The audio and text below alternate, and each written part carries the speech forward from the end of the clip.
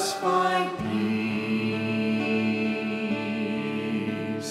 Let us find love. Just take a moment and center in to that true teacher the Christ within, God's presence. So we take a moment. Thank you, God. We know you're the true teacher, and so we tune in and hear you speak to us from inside. Amen. Well, welcome to this uh, third Sunday of January. And in January, we're celebrating abundance. And so we align ourselves in. Uh, when we begin in unity, we know that our thoughts matter because our thoughts are what helps us to bring forth, they're the conduit through which we bring forth spirit in us. So we use affirmations, not to make them true, but why? Because they are true. Right, okay. So we're aligning ourselves with uh, these uh, statements, and I invite you to engage your energy system. You can use hand motions, you can wave your hands around, whatever you want to do. But get yourself engaged and let, let this uh, speak to you. Let it open up those channels of abundance for you. So, this is from uh, Reverend Dr. Johnnie Colemon, who is featured in that uh, booklet that you got today. She is just, she passed on from Earth Experience a few years ago. She was wonderful, wonderful leader, did a lot of good in this world, and still does through all of her legacy and her energy. So, let's align with this wonderful uh, affirmation from Reverend Dr. Johnnie Colemon. Here we go.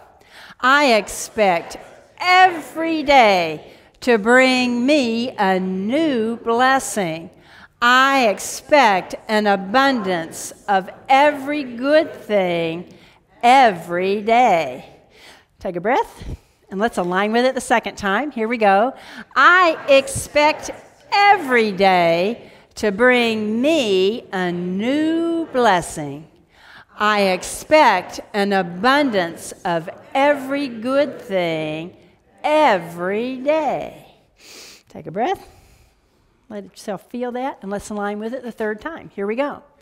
I expect every day to bring me a new blessing. I expect an abundance of every good thing every day. All right. Are you feeling that in your life? Yes. Good. All right. It works because it opens us up to spirit. That's really the whole point. All right. You know George Carlin, right? The comedian? All right. He's, he was a funny guy, and he always had his twisted but hmm, very wise perspective on life. So uh, George Carlin once said, he said, I put a dollar in the change machine, but nothing changed. We know why, right? Because we, when things change, we want things to change a lot of times, right? We sit around and we want things to change. And yet we know um, as we are tuning into our spiritual lives that things may change, they may not change, and it may make us feel a little better for a while. But ultimately, if anything's going to really be different, you know what's got to change, right? Come on, this isn't hard. You know this, right? We got to we got to change, right? And so, what is it that has to change? I mean, you may think, well, okay, I'll change my hairstyle, I'll change my job, I'll change where I live, I'll change my friends, I'll change my diet, whatever, you know, I'll change my exercise routine. There's nothing wrong with any of that. It can be useful, it can be helpful, and, and as we all know, there's plenty of advice for how to do that everywhere, you know, plenty, some of it free, some of it'll cost you, okay?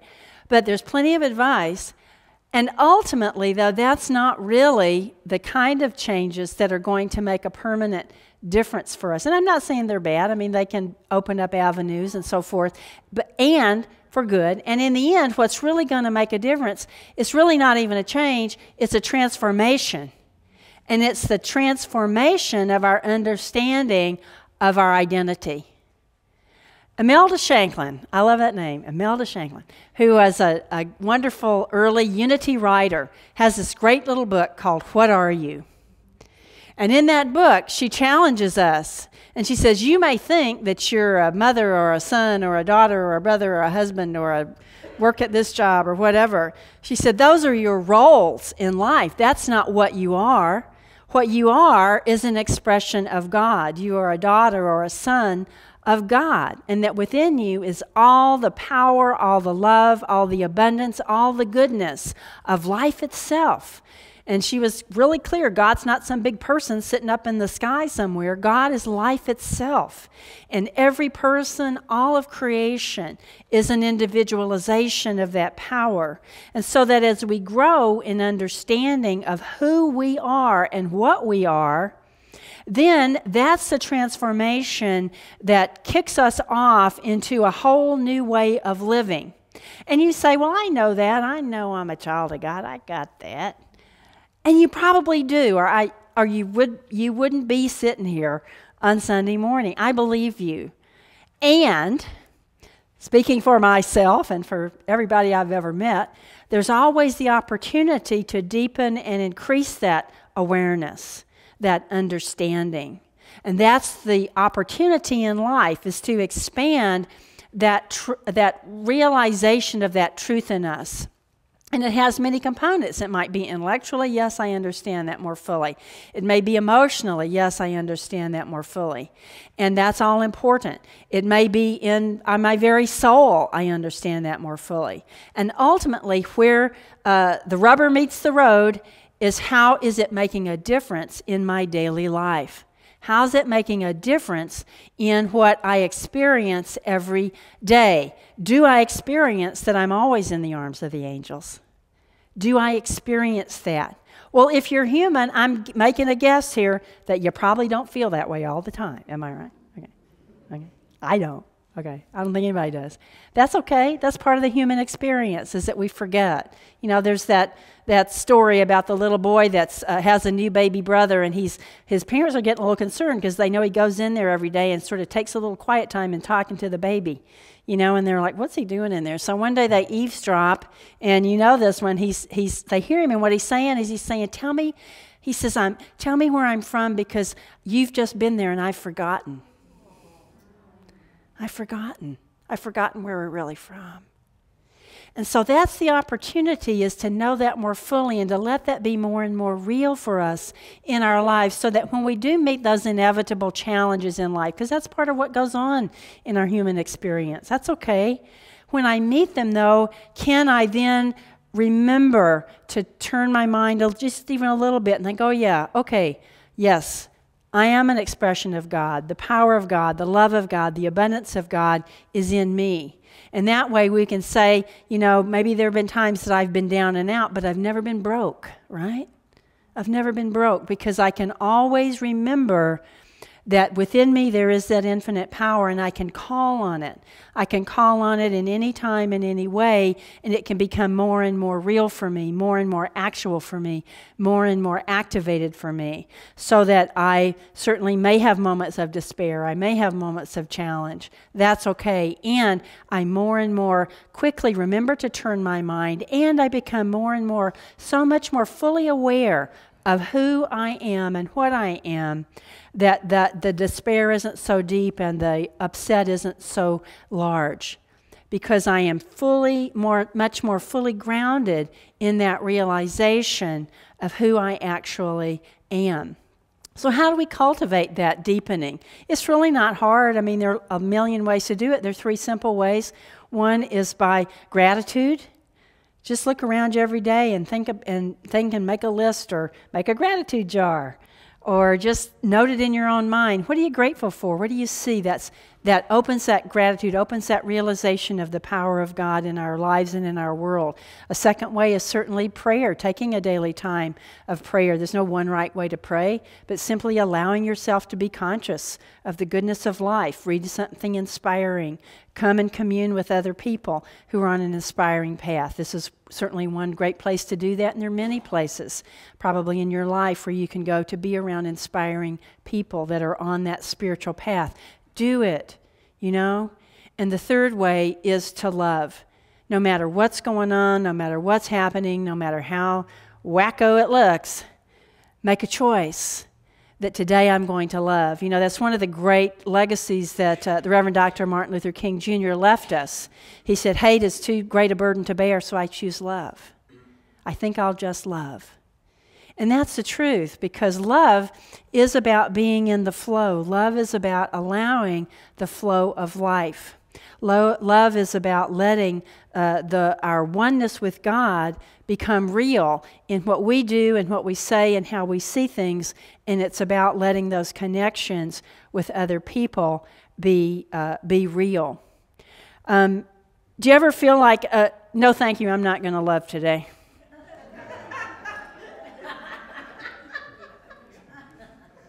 oh, I'm glad. I'm always glad to know I'm not the only one. It always helps me. All right. There's some stuff it's like, no, that's just too far. That's too far. No, not that one. The rest of it, no, not that one. Okay. But you know what happens when we do that is that we get stuck with our despair, right? That's the choice. Do I want to be willing to go, okay, all right, let the love flow? Doesn't mean you have to like it or like anybody. It means, but you mean you have to love it. Love. Just let the love flow. Forgive, which we'll talk about in a minute. Or you can, or you can stay stuck in your despair. Which do you want? You know, sometimes I'm like, I, I like my despair. I'm going to just stay there. Yeah, yeah. And then you get tired of it, right? You get tired of it. So, so then we get to forgive. We get we get to love. I want to so let's talk a little bit about forgiveness because forgiveness is really um, the way to keep yourself grounded in abundance, to ground it in wealth. You know, we sang that beautiful song at the beginning today about I am wealthy. What wealth, you know, we think of that as money. Okay, money's fine, it's a good thing, you need it in earth plane. And what wealth, the deeper meaning of wealth is well being. That's what it's about. Wealth is well being. It's the well being all around. It's the wholeness. And that includes having enough, you know, uh, to, of what you need in the material realm to do what you need to do. So um, let's, let's uh, talk a little bit about how forgiveness is really what keeps that wealth, that well being flowing, and all that abundance flowing that we've been uh, singing about today and that we're honoring here on this um, on this Sunday in, in January as we're th- think, thinking about abundance. So, I'm going to give you a little bit of a different perspective on forgiveness. And there's no one right way to see it, it can mean a lot of things, but at the foundation of it, it has to do with staying in the flow. So, this is from uh, the Gospel of Matthew, and it's uh, chapter 6 and verse starting with four, verse 14. And this is following uh, the Lord's Prayer. So, here you go. It says, So if you, for, if you forgive others, their trespasses, your heavenly Father will also forgive you. But if you do not forgive others, neither will your Father forgive you your trespasses. Well, that sounds kind of like, well, pff, sounds like my parents, right? Yeah. That's a whole other discussion. We're not going there. Okay. Anyway, so what this is about is not that God's like, well, you be nice and they'll be nice. That's not what this is, friends. It's much, much deeper than that. It's about God can't forgive us if we don't forgive others. Why? Because we're doing this, right? We're like, no, I don't think so. So, what's happened is we have said, I am now going to pinch the hose. You ever been out in your garden and you're trying to water and you're wondering, why is not the water coming out? You know? And you look and the hose is all twisted up because all pinched. That's what we're deciding to do. If we don't forgive, and forgive, let me say this too forgiveness has nothing, absolutely nothing to do with pardoning anybody or anything. Nothing to do with that whatsoever. Has nothing to do with it. That's the big barrier a lot of times. That's, that's something else. Forgiveness simply is saying, I am willing to let go of how it is that I'm in despair. I'm willing to let go of how it is that I'm hurting. I'm willing to let go of how it is that I'm keeping myself in the prison of negativity and upset and one down and being, you know, freaked out by what somebody else is doing. Forgiveness is simply saying, I'm willing to let it go. I don't know who did what to who or whatever. It's none of my business or what they did to me. And yes, we have to feel the feelings. We have to honor it. I'm not saying there's not like cheap forgiveness. And it's about letting it go. It's about saying, I am willing to entertain the concept that the power and the grace and the love of God is bigger than anything that has harmed me or anybody else. I'm willing to entertain that possibility and let God do the healing work. And part of my responsibility is okay, yeah, I need to feel. And to know that the power and the presence of God was there with me and whoever else it was when whatever it was happened. And I am willing to let the grace of God help me out here. And I'm willing to not make that person, place, or thing my higher power. Do you know what I'm talking about? Do you ever make mean people your higher power? Why? Because we do that on earth plane, right? We think so and so is bigger than all of this, and so they we don't we don't think I'm making them my higher power, but guess what? Yes, we are.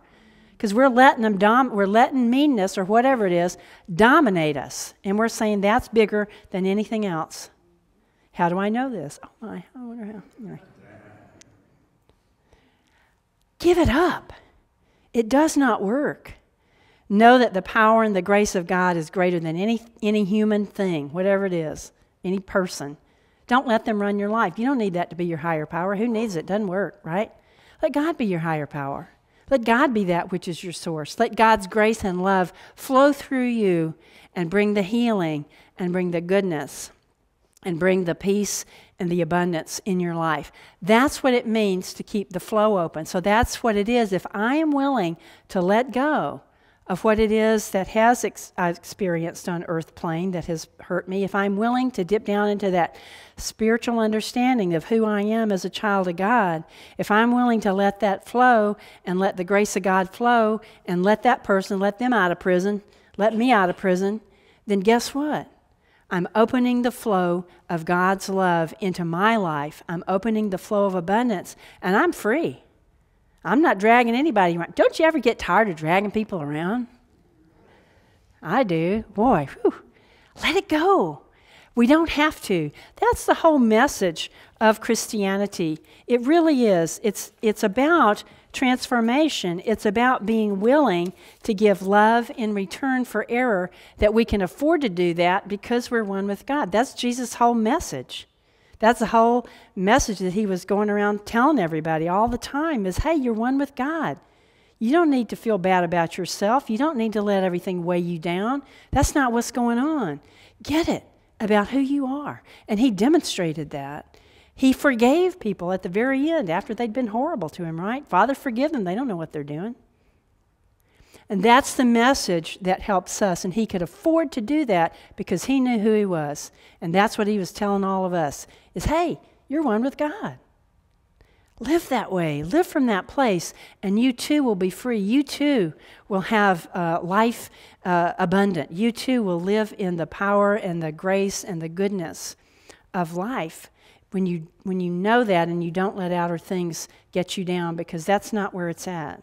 It's all about being within you. So, whatever it is in your life that you feel like has weighed you down, whatever it is in your life that you feel like is holding you back, entertain the possibility of giving love. And that's what love really, forgiveness really is it's love in return for error. That's the great metaphysical meaning. And our good old unity founders and early writers talked about that all the time. Forgiveness is giving love in return for error, whatever it seems to be.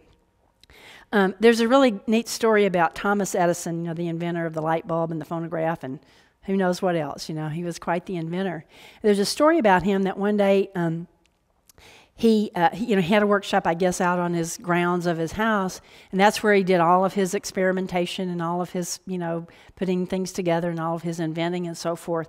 So one day, for some reason, that workshop caught on fire, and um, he he didn't have, you know, his insurance was for like 10 cents on the dollar or something, so it wasn't really going to help him a lot to rebuild it. But he called his young son over to him to, as they were, he was standing outside watching it burn, and he says, Son, he said, this is great. He says, All my mistakes are going up in flames. and then he says to his son, He says, Son, go call your mother. She's never going to see a fire like this again. That's forgiveness, right? That's forgiveness is that I am willing to see whatever happens to me as the open door to a new opportunity. Loss is simply a change of form.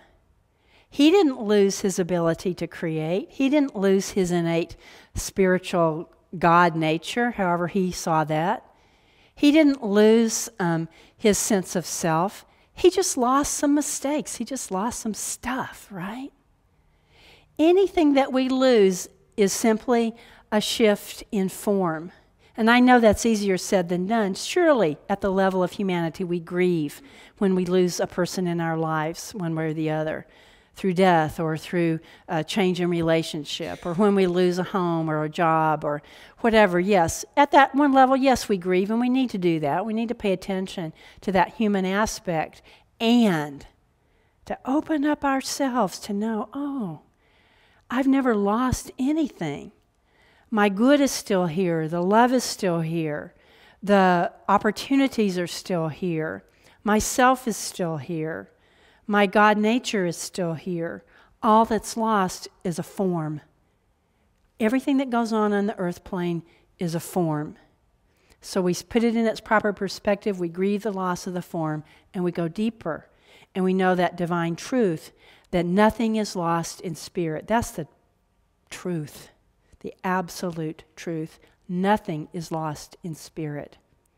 So when things seem to, when your workshop burns down, say, oh, good, you know, just burning down my mistakes.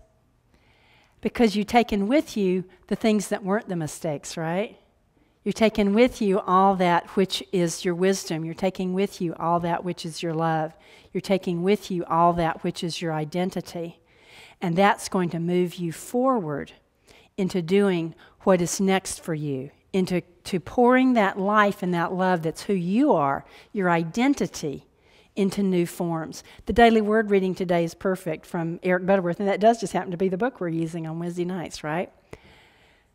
Is that what we create, what we receive, is who we think we are. That's what we expect. So the more that we know that we are expressions of God, the more that we are going to receive that good because we are clear that that's who we are, that's what we deserve, and that's the power that we have. I want to quickly just point out to you another, you got an insert in your bulletin today. And this is, uh, I'm going to just quickly note it for you and then invite you to take this home and use it if you choose to. It's called The Creative Process of Manifestation. And uh, I adapted this from Charles Fillmore, the co founder of Unity, his book Prosperity. And, and uh, I love the front of there. And uh, it's, he's, uh, this is affirmation I trust thy universal law of prosperity in all my affairs. And if you would, let's affirm that together. I trust thy universal law of prosperity in all my affairs. And in this booklet, if you choose to use it, if you want to, in there is outlined uh, what Fillmore listed as the seven steps to manifestation or the seven steps to open that channel. So if you've decided that you're willing to forgive and let the flow of life come, then you're ready to put these into use. And this is his adaptation of the seven steps of creation from Genesis. And he is very clear. You can look at these seven steps, and it's basically about how one, you know, again, there are lots of ways, lots of methods, but this is one way, one very uh, easy to use and concrete and spiritually grounded way that you can bring forth that good of God in your life. So is not about materiality, it's not about consumerism.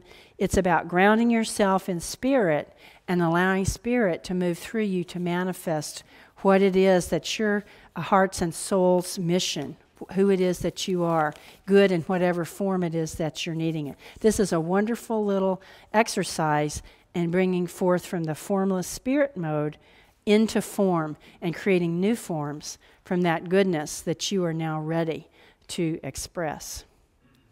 So, I invite you to take that home and study it and use it, put it into use. And I want to close with this. This is a, a wonderful quotation, and it is from uh, W.H. Murray who was a, a mountaineer, a Scottishman. I'm a Scotsman. So he was a Scotsman. And um, he wrote this. He says, Until one is committed, there's hesitancy, the chance to draw back. Concerning all acts of initiative and creation, there's one elementary truth that ignorance of which kills countless ideas and splendid plans. And that is, at the moment one definitely commits oneself, then providence moves too. So all sorts of things occur to help one that would never otherwise have occurred. A whole stream of events issues from the decision, raising in one's favor all manner of unforeseen incidents and meetings and material assistance, which no one could have dreamed would have come their way. And he goes on and he says, Whatever you can do or dream you can do, begin it. Boldness has genius, power, and magic in it. Begin it now. Begin your experience, your adventure in forgiveness, and your adventure in bringing forth that good because you deserve it. Let's pray. Thank you, Spirit. Thank you for goodness. Thank you for life. And thank you for making us humans who we are, creative beings. Guide and support every one of us here today, God, in bringing forth that good that is our innate inheritance. And so it is, and we affirm this in the name and through the nature of our brother, our way shower, Jesus the Christ, and the Christ that shines in us. Amen.